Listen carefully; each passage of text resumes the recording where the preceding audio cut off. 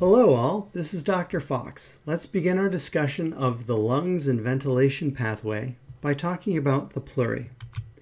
In this video, I'll describe the pleura, including the recesses and potential spaces created by the pleural sac and the margins of these recesses at the midclavicular, mid-axillary, and paravertebral lines. I'll also discuss how this anatomy relates to various clinical conditions and procedures.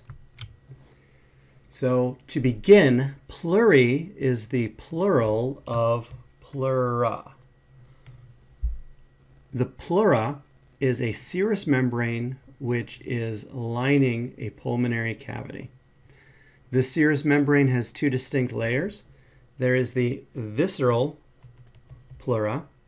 The visceral pleura is adhered to the surface of the lung itself and in this case, this is an example of atelectasis or a collapsed lung so that we can see an exaggeration of the pleural cavity, which is surrounding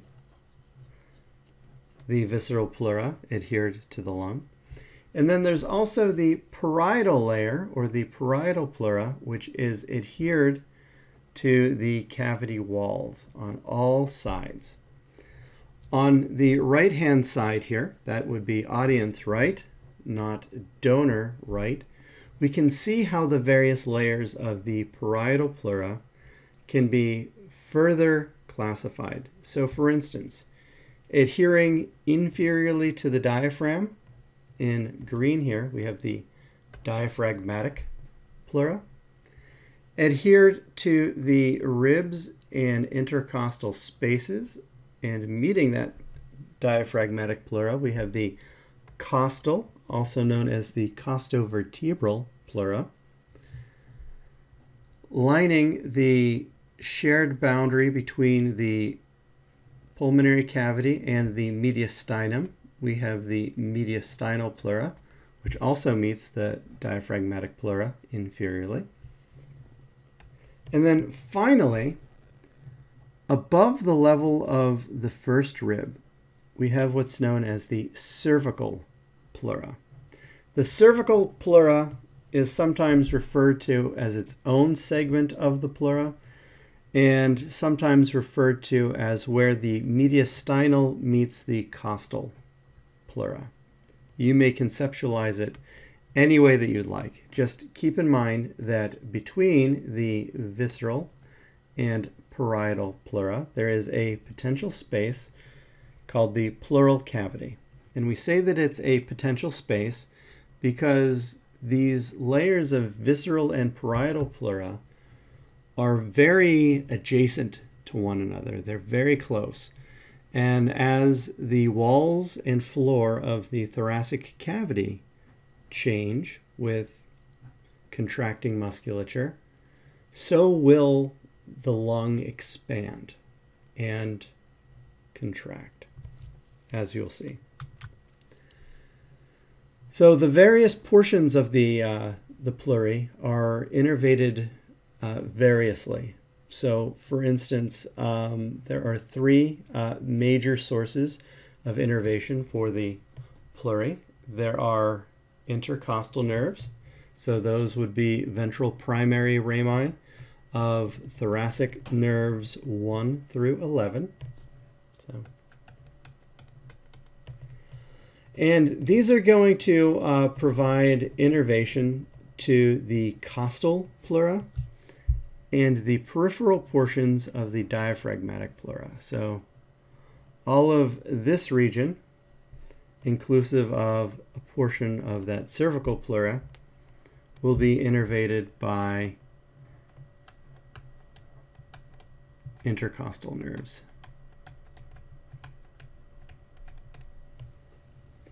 The phrenic nerves, remember C3, 4, 5 keeps the diaphragm alive, which are descending down on either side of the mediastinum, are going to innervate the mediastinal pleura and the central portion of the diaphragmatic pleura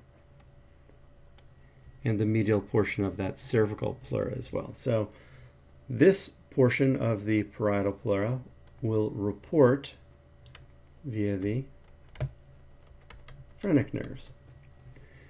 And then finally, the visceral pleura, that which is adhered to the lung directly, is going to be innervated via the pulmonary plexuses.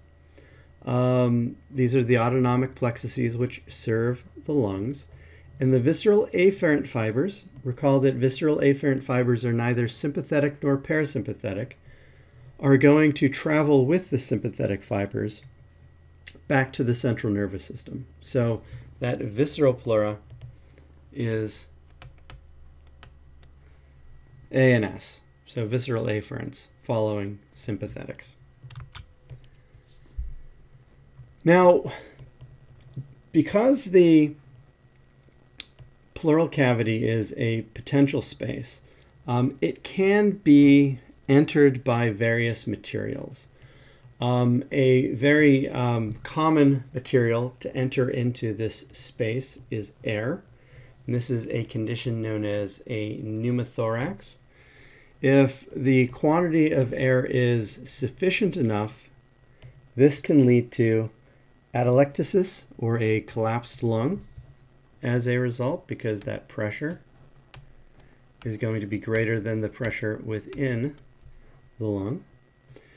Various fluids can also enter into that, uh, that space as well. Uh, so there can be an overabundance of serous fluid, and that's known as a hydro, so water, thorax. Red blood cells may enter this space, or just blood, and that's known as a hemothorax. Uh, lymph can enter this space, and that's known as a chylothorax. Or pus or purulence can enter this space, and that's known as a pyothorax or empyema. Usually that's the result of a, a bacterial infection or a pneumonia. The, uh, the treatment for this, or part of the diagnostic pathway, it may either be diagnostic or therapeutic, is a procedure known as thoracentesis. And with thoracentesis, um, a needle is placed through the intercostal space um, to withdraw the collected fluid. Um, and that withdrawal of the fluid can be therapeutic because it reduces the pressure on the lungs. And it can also be part of the diagnostic procedure because that fluid may then be analyzed. Inferior to the entirety of the thorax, but certainly um, inferior to the pulmonary cavities um, and lined by the diaphragmatic pleura, we have the diaphragm. The diaphragm um, is a bimodal dome-shaped structure. And what I mean by that is if we follow the, the classical lines of the diaphragm, we can see one dome, a flattened area, that's where the pericardium will be attached, and then another more gentle dome or cupula. Um, each side of the diaphragm is innervated by its own phrenic nerve, and so sometimes we refer to each side as the hemidiaphragm. Uh, the diaphragm is oftentimes referred to as a muscle, and that is absolutely true, but um, unlike most muscles, most of its tendon is in the middle of the muscle, and that's known as the central tendon. That central tendon is about at the eighth thoracic vertebrae level. Um, and as we can see, the, the two cupula may rise above that level, hence the, uh, the bimodality of that dome. So a lot of people rather simplistically think that the diaphragm kind of looks like a, an arched dome like that, and it actually is a little more like that. Right? Go blue. Um, the attachment sites of the diaphragm include the, uh, the costal margin. So there we have the xiphoid process there as part of that, coming down and around. The, uh, the lateral margins of the 11th and 12th ribs, and then posteriorly down from the first to the third lumbar vertebra. So if we think about this, here we are at T8, and then the, the posterior portion of the uh, that diaphragm can go down to lumbar one there, lumbar two, even as far down as lumbar three. So that should give you the sense that posteriorly, that diaphragm really dives down deep uh, at the posterior margin of the thorax, which we'll see. Now, the, the complex attachment of the diaphragm is going to create a, a recessed space, another potential space called the costodiaphragmatic recess. Costo ribs, diaphragmatic diaphragm. So this is just the space here that I've outlined in blue um, between the diaphragm and the ribs. And so there's going to be diaphragmatic pleura on the diaphragm, costal pleura on the ribs and intercostal spaces, and then above there's going to be visceral pleura adhered to the lungs. So those are going to be the boundaries of that costodiaphragmatic recess, the costal pleura, the diaphragmatic pleura, and the visceral pleura and lung. This is the space that into which the lungs will largely fill during forced inspiration. So that's a very deep breath. And the space from which the lungs will retreat during expiration. Now there are variable margins to this space when we consider the, well, loosely front, side, and back to it. So we have specialized names for these regions. And so the first would be the midclavicular. The midclavicular, we just take the clavicle, which is the bone that would be approximately there, and we run down approximately midline on that clavicle. I've highlighted it there in green. And the, uh, the midclavicular margins of this costodiaphragmatic recess are going to between the sixth to the eighth ribs. So between ribs six and eight. Um, as we move mid-axillary, so from the axilla down, those margins are going to drop to 8 to 10. So look at this, 6 to 8, occupies two ribs worth. 8 to 10 occupies two ribs worth.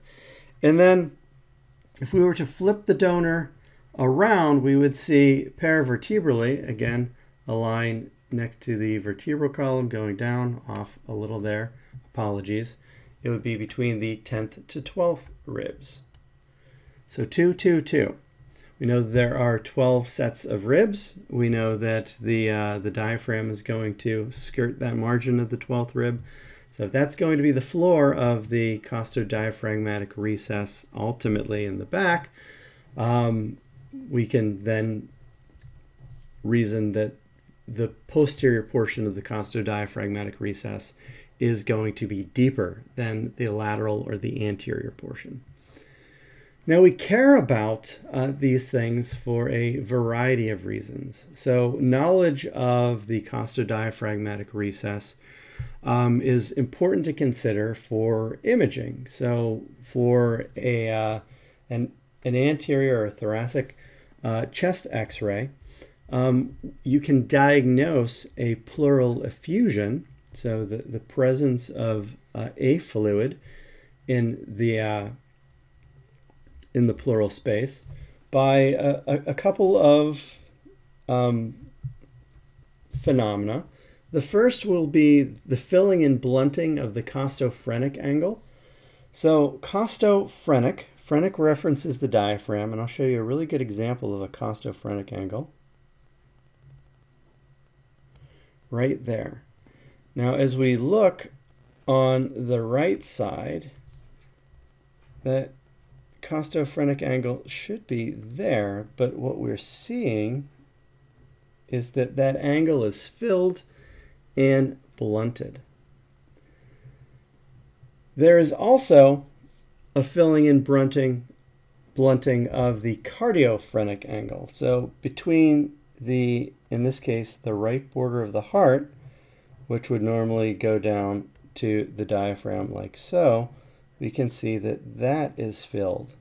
And between these two, there is a meniscus that forms. And so in radiology, when you're learning about diagnosing uh, a pleural effusion with blunting of these costophrenic and cardiophrenic angles and the presence of a meniscus, it's important to consider that complex shape of that costodiaphragmatic recess. Now, knowledge of the margins here are going to be of primary importance for that thoracentesis procedure because when inserting a needle between the lung and the remainder of the pleural space, you want to be able to access whatever fluid accumulates in there without perforating the lung and creating a pneumothorax. And so um, it's probably best performed uh, paravertebrally or mid-axillary, but anywhere where there is good access, um, certainly you'll be able to draw more fluid away paravertebrally because it's deeper in the posterior. So knowing these margins here, 6 to 8 mid-clavicular, 8 to 10 mid-axillary, and 10 to 12, are going to guide your ability to accurately perform a thoracentesis. Now there is another potential space called the costomediastinal recess. So costodiaphragmatic is between the ribs and the diaphragm. Costomediastinal is between the costal pleura and the mediastinal pleura. So costal pleura, more anterior, mediastinal pleura, more medial and deep. And then the final margin will be the lungs themselves. So if we can imagine just drawing that down this way and that way uh, for where um, where the lungs can be a boundary for this space. So I've I've outlined what we can see of the costomediastinal recess here in blue. Um, as the lungs fill during inspiration, they will invade into this space, and during expiration, they will retreat out of it. Probably the lion's share of this space, as being well documentable, will be in this region. So here we can see so the cardiac notch of the left lung, and that's where the costomediastinal recess is its greatest. So we've discussed the pleurae and their parietal and visceral layers. We've discussed the pleural cavity and the various uh, clinical conditions of substances within the pleural cavity. We've also discussed the costodiaphragmatic recess its variable margins and clinical relevances, as well as the costomediastinal recess, its boundaries, and how the lungs may move in and out of it. This is your summary slide. I thank you for your time.